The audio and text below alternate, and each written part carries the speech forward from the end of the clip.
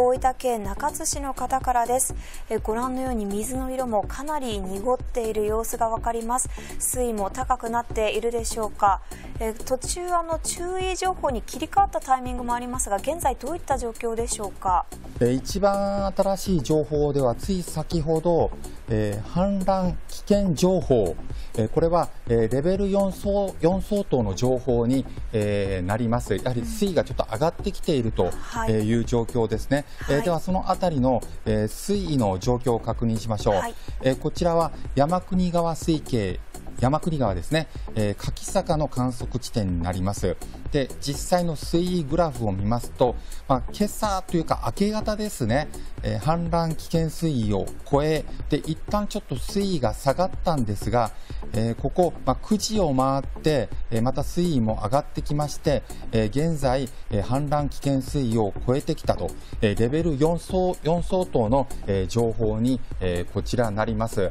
やはりですね、一旦雨が弱まったとしても、また再び強まってきたことで、このように水位が上がってきているという状況です。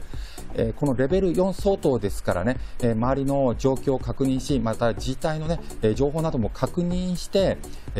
必要であれば早めの避難などをね、心がけていただきたいと思います。